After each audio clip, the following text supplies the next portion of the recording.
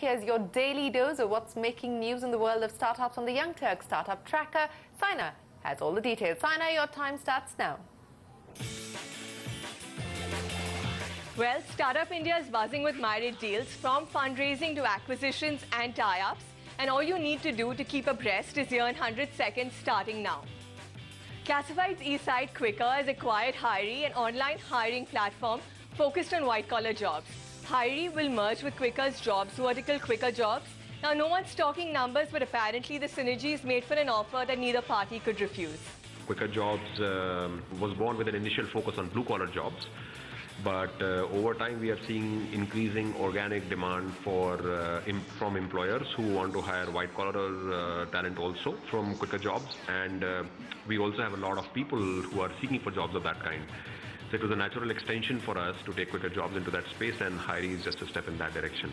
One of the biggest things that we look for when we are evaluating opportunities like this is to see whether you know whether um, we'll have fun working together.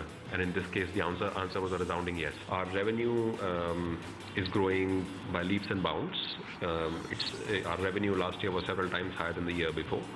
Um, and we do expect to attain profitability based on our current plans uh, at some point not very far in the future. Nandan Nilekani has made his 12th startup investment to date. He's pumped in 30 crores into Bangalore-based 10i Commerce Services, which operates tech platform ShopX. Now, ShopX helps offline retailers with technology and logistics support to help them better compete with e-commerce and organized retail.